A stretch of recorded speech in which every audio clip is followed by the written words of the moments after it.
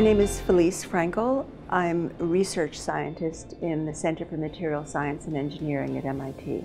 Basically, what I do is work with scientists and engineers around the whole institute and try to raise the level of their visuals and their data and all sorts of approaches to visually communicating their work, their research. Mostly for journal submissions and for presentations. But it's really, and this is, this is the harder point for people to understand, except when you're doing it. The idea behind all this is when you think about how to visually express your research, you're not only communicating your data to other people, but you're in fact clarifying it in your own mind. So it, it's like writing an article. You, you have to figure out what should you say first, and our vocabulary is more visual, and, and, and fashion a, an image in a, in a way that a new viewer, that is the first time viewer, will understand what your work is about.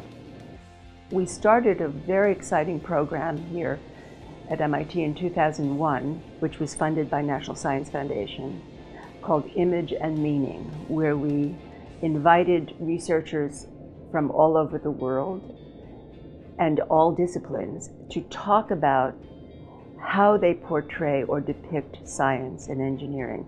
The idea behind it is that the challenges, no matter if you're an astronomer or working in nanotechnology, the challenges are actually quite similar in, in terms of how to express a particular idea or data. How do you use color? How do you compose a figure?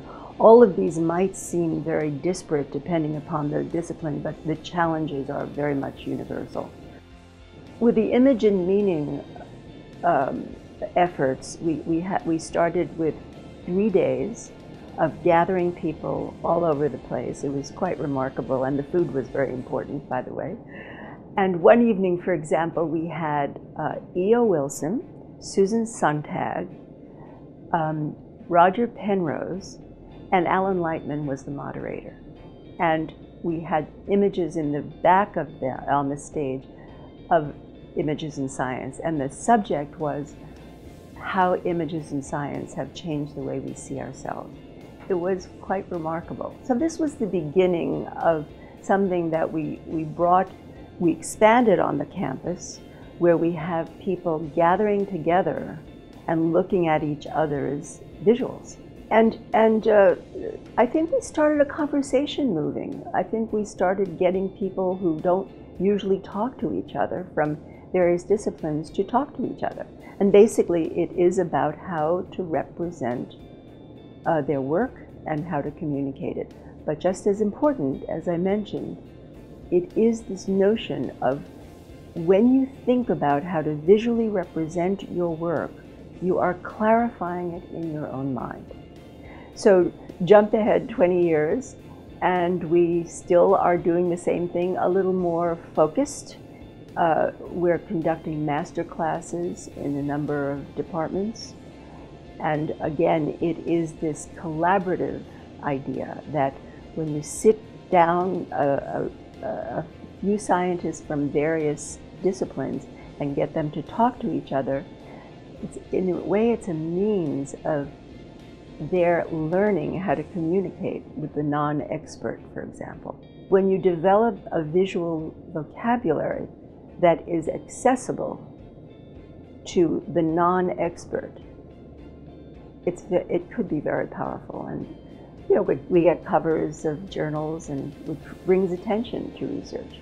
That's what a lot of this is about, bringing attention and making an accessible language to comprehend what exactly is going on in the research.